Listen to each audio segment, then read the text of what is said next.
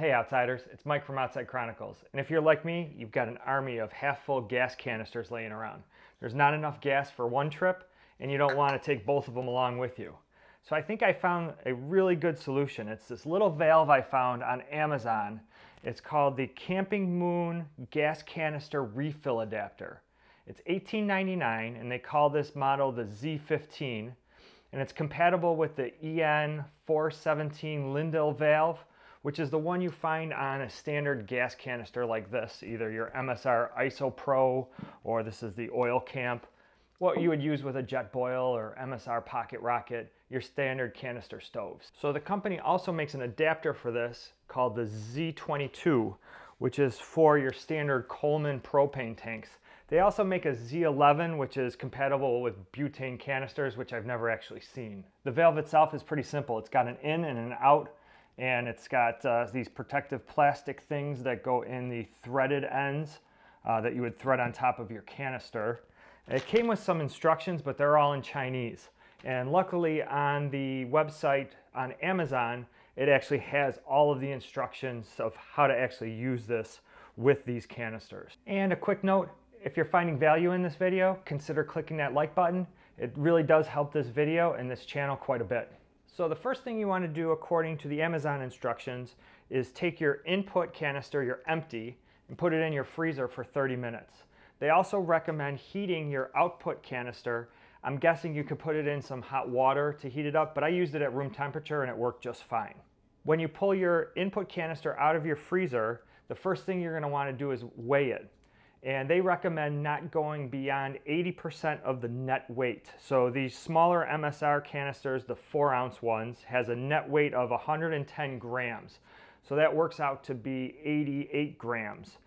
So it's a difference of 22 grams. And if I take that and subtract that from the gross weight, that's about 189 grams is what they would recommend to fill this up. I've been going to a gross weight of about 200 grams and it's been just fine. After you weigh the input canister, connect the inside to the empty canister and the outside to the full canister. There is an arrow to show you the direction of flow. Open up the valve. About 10 seconds in my testing transferred about 22 grams of gas. Then continue filling and testing until you get around 200 grams for these smaller canisters.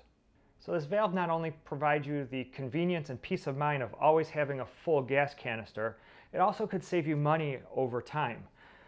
As you go up in size of canisters, and there's actually a 16 ounce canister, the price per gram of gas actually decreases quite a bit. There's a pretty high premium for these smaller canisters.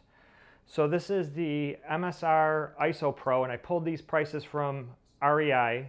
The 3.9 ounce or 110 gram canister is $5.95, or that's $1.53 per ounce. Then if you move up to the next level is the 8 ounce canister, and this is 227 grams, and it's 6.95 or 86 cents per ounce. And finally, the largest size, the 16 ounce canister, is 10.95 or 68 cents per ounce. So between the largest 16 ounce canister and the smallest 4 ounce canister, there's almost a dollar difference per gram of gas. So you can actually buy the larger canister from here on out and just fill up the canisters that you already own and save quite a bit of money over time.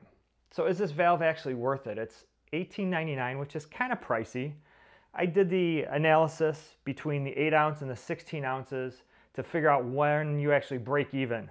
And it's 28 ounces if you just refill with the 8 ounce canisters. And if you use the 16 ounce canisters, you break even after 22 ounces of refill. So I think it's worth it. Over time, you're gonna save money. And of course, you're gonna not put stuff in landfills.